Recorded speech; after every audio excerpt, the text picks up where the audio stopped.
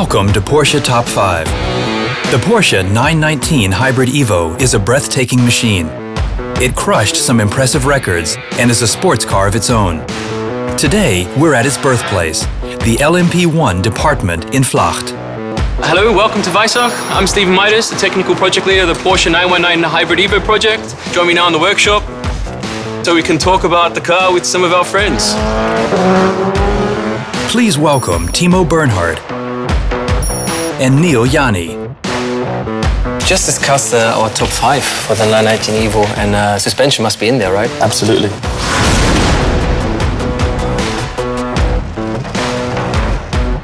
With the performance increase with this car, we had uh, new wishbones, so we could maximize uh, performance but also ensure maximum safety. We've updated the inboard suspension in order to increase the roll stiffness, and there's also uh, an updated version of the PLS, this pitch link suspension that we have in order to make sure we keep that ride height as low as possible for you guys in those low speed corners. The biggest thing was just to trust because when you drive this car on the limit, you want to know that nothing breaks. But I think that was the advantage that we were working all together for so long. So we had the trust that the, that the people will not take it lightly and they really concentrate on getting the car, I mean, quick but also safe. Half a second is trust, yes. I guess, a lap. Watching you through through Eau Rouge on that lap, I mean, it was uh, 300 plus. So, I mean, so I, I, tested it for you, and then you knew you can go down to, exactly, to yeah. Nordschleife and enjoy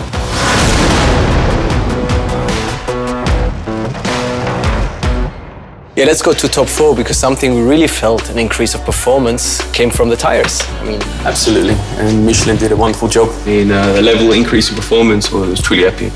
And when you consider the constraints, because we had the same construction as last year, uh, it was wow. The best was in the morning when it was cool and not too high asphalt temperatures. Sure. And when we started developing new compounds with Michelin, I mean, we were targeting those temperatures, but when we turned up at the Nordschleife, yeah. I mean, our target was to operate the same time of day as in Spa, but uh, the temperatures were just so hot, it was, uh, it was quite amazing. So, Timo and Neel, we have a small problem because uh, we have some transport rain tires on the car. I think for us to sure. continue the top five, sure. we need to put some slicks on it. Oh, that was a proper pit stop. And guys, now the Evo looks a lot better on slick tires.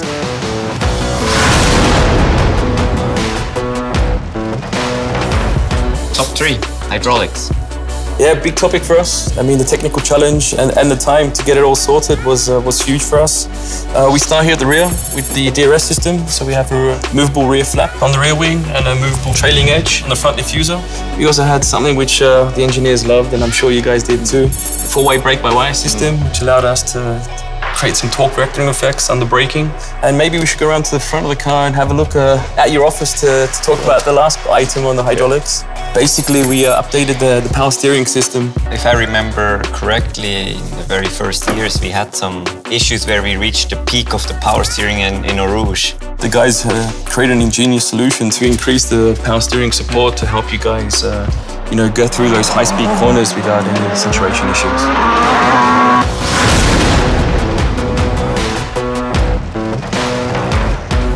So if we speak about characteristics and genes of the 919 hybrid and the updated performance, we have to talk about aerodynamics. Absolutely, and it's the biggest visual change in the car. We start here at the front, the new front end. I mean, the nose box is the same as last year, but uh, all this bodywork is different with a longer overhang on the, on the front diffuser. Added some skirts down the end. Yes. So these, these nice things, which uh, also uh, increase the efficiency. And from the rear, we can see that the, the height of the diffuser is much much bigger than it was last year. That's a proper diffuser, I would say. Huh? and you have the shape and the look a little bit of the 935, actually, some historic component in there. The most impressive thing visually on this car that's changed compared to last year is this huge rear wing. It's much further back huh, as well. It's, it's significantly further okay. back, which helps it couple the performance with the diffuser and uh, increasing downforce. Uh, as a result, this whole package is just huge. Yeah, due to the advanced aerodynamics, we were able to run 369 uh, top speed at Nordschleife and still be able to do, I mean, uh, corners like Eau Rouge, uh, more than 300 kph. That's impressive.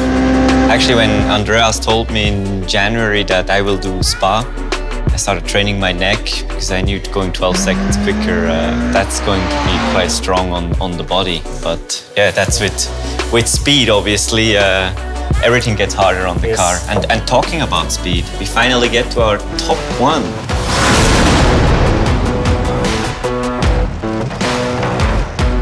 Should we have a look? Yeah, we should have a look at it.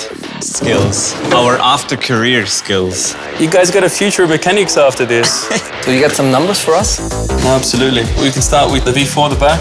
We were racing around 500 PS, and uh, I think we ended up uh, somewhere close to 720 PS. Wow. The increase in performance is a clear demonstrator of what this thing could have done.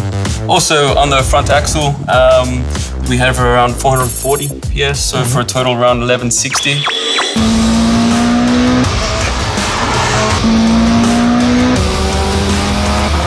One of the most impressive things for me was the acceleration because like the E-machine driving the front and the turbo engine driving the rear.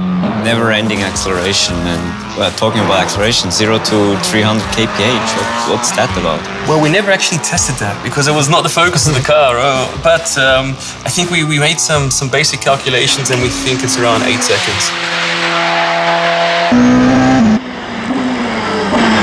when you drive it, it's really man against machine.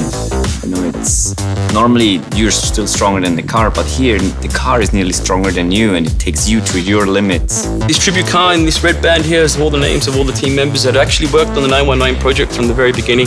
And everyone who's contributed to the great success that we've had here. And it's been uh, a fantastic honor to work with all of them. At the end of the day, it's like you said, it's a tribute to the ultra successful 919 program and, uh, and also a thank you to Porsche for, for letting us, us three, do this uh, and go to Le Mans and, and, and compete in the World Championship. Okay, thank you everyone for spending some time today going through our top five for the Porsche 919 Hybrid Evo project. I uh, hope you enjoyed it and looking forward to seeing you all next time. Bye bye. Bye guys. Thank you very much, guys.